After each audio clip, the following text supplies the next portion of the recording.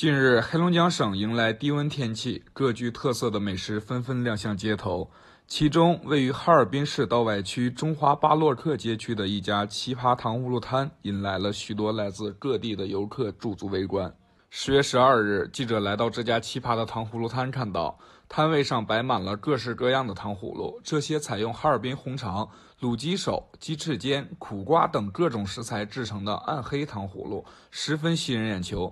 可以说是非常有冰城特色。刚开始做那些普通的糖葫芦，做的时间挺长的，感觉寻思做一下辣条都喜欢吃，就寻思做个辣条的。第一次先做的辣条的，后来慢慢做一些红肠啊、辣椒之类，比较受人欢迎嘛。就是感觉大家都寻思新奇奇特点，大家一起做起来。不过吃起来味道都还可以，如果不可以的话，也就不做了。糖葫芦摊的老板告诉记者，除在卖的这些暗黑糖葫芦以外，他还曾使用马迭尔冰棍、老顶峰月饼、大列巴等具有哈尔滨特色的食材做过糖葫芦。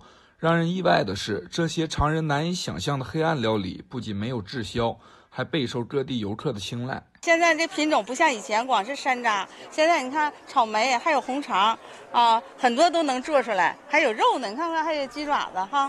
特别美，我觉得这辣条味道还真挺不错的。然后本来卫龙就稍微有一点甜嘛，然后加了点糖，现在嗯更更甜了一点，然后挺好吃的。